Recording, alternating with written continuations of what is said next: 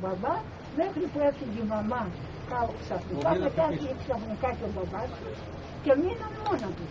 Κάπου κάπου ήταν μία θεία, κάβλεπε, κάβλεπε στο χωριό, δεν ξέρω στο χωριό που και, και, και δουλεύανε στο Δήμο. Και στη Λαϊκή, ο νεαρός, και το κορίτσι κάπου πήγαινε στον Πανιόνιο και βοηθούσε. Η μητέρα τους πότε πέθανε; Είχε 7 χρόνια. Ο πατέρας; Τρία, τέσσερα χρόνια. Στο νοσοκομείο το παιδί. Εγώ έβλεπα το ασθενοφόρο τρεις μέρες, πρωί, μεσημέρι, απόγευμα εδώ. Έπαιζε κόταν. Έπαιζε κόταν. Πού αλλού; Είχαν κάποιο πρόβλημα υγείας. Από εδώ δεν καλά το μωρά. Ήτανε παιδιά, άλλου Θεού ρε παιδιά, που ήταν ωραία. Όλα αυτά δουλεύανε, όσο ήταν η μάνα και ο πατέρας δουλεύανε, οκ, όλα.